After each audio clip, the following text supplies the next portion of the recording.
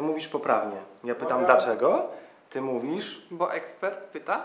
eksperta. I tyle? Tak, i to tyle. Dobrze. Nagraliśmy to już. Możecie jeszcze raz. Uwaga. Poprawnie.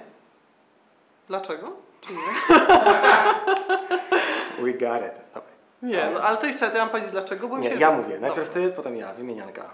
Poprawnie. Dlaczego? Bo ekspert pyta... Eksperta. Zapraszamy.